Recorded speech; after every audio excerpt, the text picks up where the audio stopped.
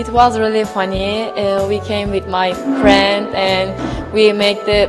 It's really cute. Uh, I like the panda, and the panda is really cute uh, animals, and it is good.